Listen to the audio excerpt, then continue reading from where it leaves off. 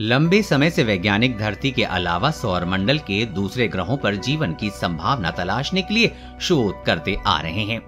सूरज का चक्कर काट रहे सभी 18 ग्रहों में सिर्फ़ पृथ्वी ही एक ऐसा ग्रह है जहाँ जीवन है। इसके अलावा मंगल ग्रह पर जीवन की कुछ संभावना है क्योंकि यहाँ वायुमंडल के साथ साथ बर्फ़ की भी मौजूदगी है। अपने इस वीडियो के ज़रिए हम आपको मंगल ग्रह से जुड़ी दिलचस्प जानकारी देंगे। मंगल ग्रह सूर्य से दूरी के क्रम में हमारी धरती के ठीक बाद चौथे स्थान पर है। हमारे ग्रह की तरह ही मंगल ग्रह भी अपने अक्ष पर झुका हुआ है।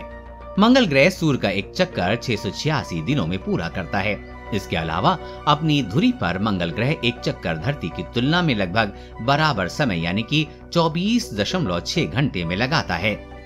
मंगल पर पाया जाता है वायुमंडल। मंगल ग्रह पर वायुमंडल मौजूद है। इसमें सबसे ज़्यादा लगभग पंचानवे प्रतिशत कार्बन डाइऑक्साइड, दो दशमलव सात प्रतिशत नाइट्रोजन, एक दशमलव छह प्रतिशत ऑर्गन और शून्य दशमलव एक तीन प्रतिशत ऑक्सीजन है। इस तरह से धरती की तरह ही वहाँ भी अलग अलग गैसें पाई जाती हैं। मंगल ग्रह पर वायुमंडल बहुत ही विरल है। क्यों है जीवन की संभावना?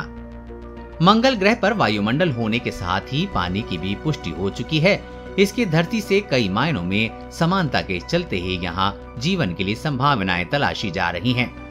मंगल ग्रह से संबंधित शोध में भारत भी बहुत आगे है और वहाँ के वातावरण पर शोध कर रहा है।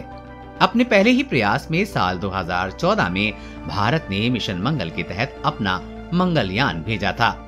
सतह लाल होने की वजह से इस ग्रह को लाल ग्रह भी कहा जाता है। मंगल ग्रह के हैं दो उपग्रह। मंगल ग्रह के दो उपग्रह हैं जिनका नाम फोबोस और डिमोस है। डिमोस उपग्रह सौर मंडल का सबसे छोटा उपग्रह है।